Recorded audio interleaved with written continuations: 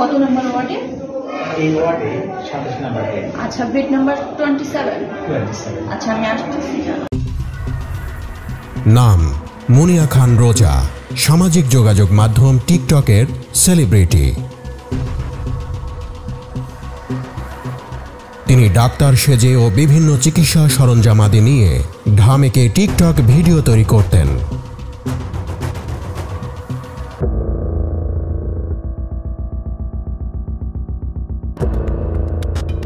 টিকটকে নিজেকে চিকিৎসক হিসেবেও পরিচয় দিতেন এই তরুণী। এখানে এসে দেখাইতে কিন্তু ম্যাডামরা কেউ ছিল না চলে গেছে। আপনি কখন আসছিলেন? দুপুরে তিনটার পরে।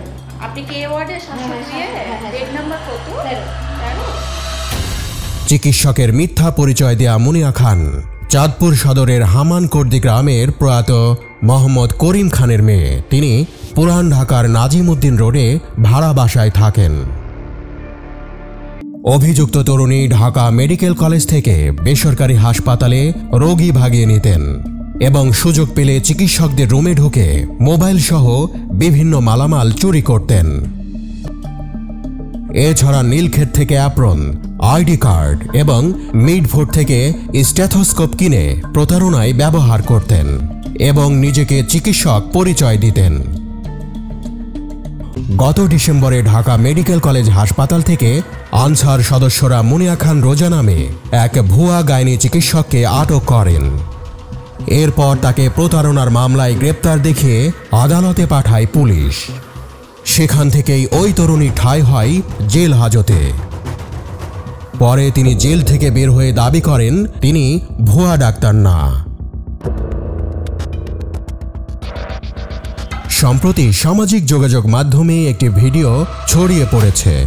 টেলিভিশন অনুষ্ঠানে উপস্থিত হয়েছেন ডাক্তার পরিচয় দেয়া এক নারী। তিনি চিকিৎসা শাস্ত্রে ব্যবহৃত সাধারণ কিছু শব্দের অর্থও বলতে পারছেন না।